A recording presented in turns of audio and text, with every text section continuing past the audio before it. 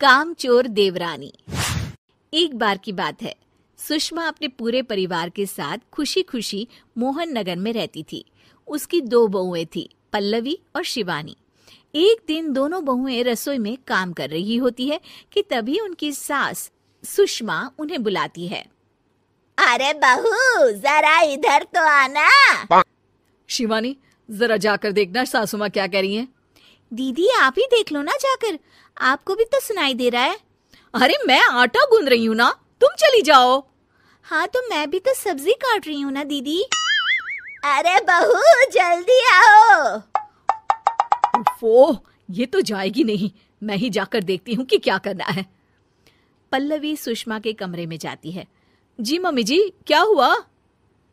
शाम को घर पर कुछ मेहमान आने वाले हैं। तो तुम अच्छा सा खाना बना लेना बहू। ठीक है मम्मी जी। आप बता दीजिए क्या क्या बनाना है और कितने लोग आ रहे हैं?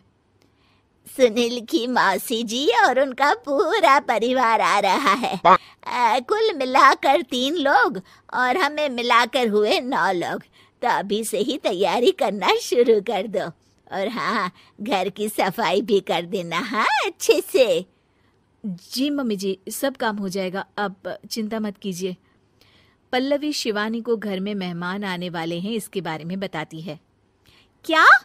नौ लोगों का खाना बनाना होगा? घर की सफ़ाई करनी है?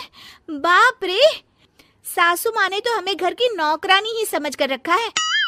ऐसा नहीं बोलते शिवानी। हम इस घर की बहू हैं और घर के काम करना हमारा फ़र्ज़ है। हम्म, दीदी तो है ही सासू माँ की चमची। जब देखो सासू माँ सासू माँ मैं तो इतना सारा काम नहीं करने वाली। हाँ।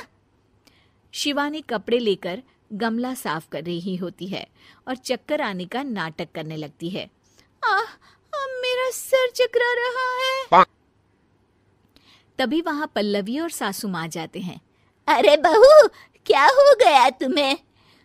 मम्मी जी बहुत तेज। सर में दर्द हो रहा है। आ, आ, तुम एक काम करो शिवानी आराम कर लो। नहीं नहीं दीदी घर में मेहमान आने वाले हैं। मुझे आपकी मदद करनी चाहिए। अरे कोई बात नहीं शिवानी तुम आराम कर लो मैं सब काम कर लूँगी। ठीक है दीदी अगर आप इतना कह रही हैं तो आराम कर लेती हूँ। शिवानी आराम से अपने कमरे में मैगजीन पढ़ रही होती है। इसे कहते हैं आराम की ज़िंदगी। इतना सारा काम। चलो, सारा काम खत्म हो गया। शिवानी को देख आती हूँ।